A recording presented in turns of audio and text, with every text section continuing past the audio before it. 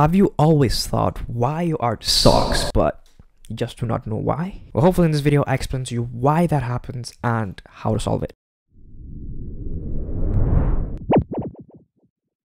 Yes, I know, this is a sad looking ponytail. You don't have to tell me. I'm actually letting my hair grow, but you know, the process is just so slow that, you know, I just gotta work with what I've got. This is actually the longest I've ever had it, so I'm happy with it. This is a really quick video explaining to you guys why we always think our art sucks and how to solve it. Now, this is not a guide to how to do things. It's just a way to solve a certain problem. If you truly think it's a problem have you ever wandered around artstation or pinterest or any sort of art platform and wondered man those people are good like crazy good. Why is my art not like those? Just why? That level is so out of reach that mine just sucks. Shout out to at landscapes.drawing on instagram who basically explained this pretty clearly and why this happens. I'm not going to tell you guys what to do. I'm going to explain to you why this happens happens and you could go either way because I have a different point of view to this. So what happens is that whenever you're learning a certain skill, any skill, you're immediately exposed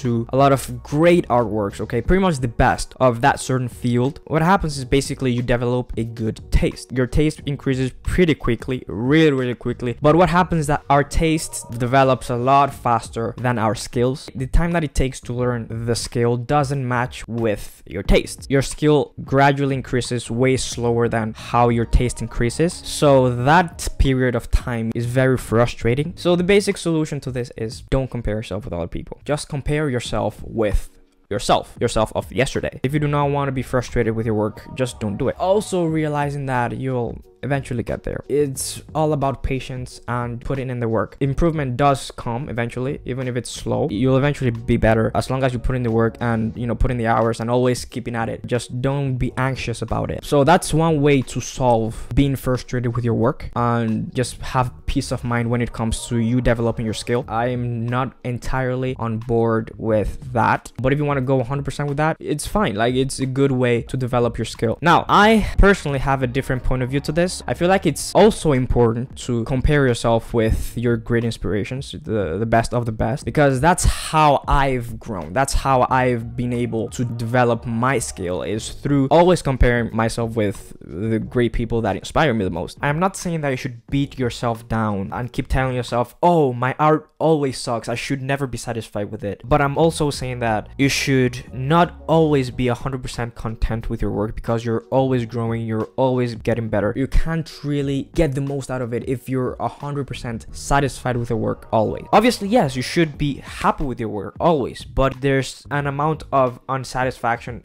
always knowing that you'll always make better things, always improve. Yes, your art can suck. It's fine. You're always improving. Even the professionals, even the best of the best, your inspirations always think that their art sucks. So I have a mixed feeling about both. I feel like there's a 50-50 between both sides. Let me know what you guys think down in the comments below. What are your opinions? If you agree with me, if you don't. Because I feel like this is an interesting topic on how to be satisfied with your work and how to improve and also how to have a healthy mind, I guess, with how you develop your skill. So yeah, that's basically my opinion. Let me know what you guys think. And uh, yep, I'll see you guys in the next video.